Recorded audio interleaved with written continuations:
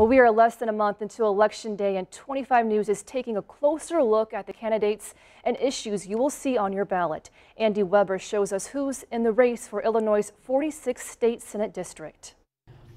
The race for the 46 pits 14-year incumbent and Democrat Dave Koehler against Republican challenger and Tazewell County Treasurer Mary Burress. The race, at least on television, has been contentious, both sides arguing over Koehler's record. The 46th includes much of Peoria, East Peoria, Pekin, and Canton, and stretches from Lewistown all the way to Peoria Heights. Today we asked the candidates the same questions, including what they want to achieve if either re-elected or elected. The PPP, the Payroll Protection Program, uh, helped a lot of businesses. That needs to be redone because uh, they've run out of that money at this point. Uh, we just need to make sure that we don't uh, unnecessarily lose businesses. No more taxes. Illinois cannot afford one more tax.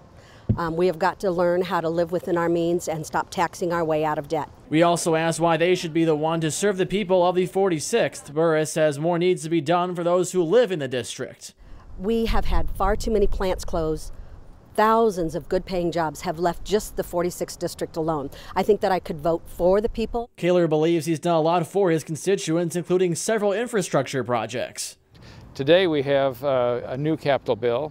Uh, we see that Route 24 that's going down to Fulton County is going to be widened to four lanes all the way down to Banner. Uh, that's critically important because that's, that's, such a death trap. We also asked how COVID-19 has changed their campaign. To see their answers, find this story on our website, week.com. For 25 News, I'm Andy Weber.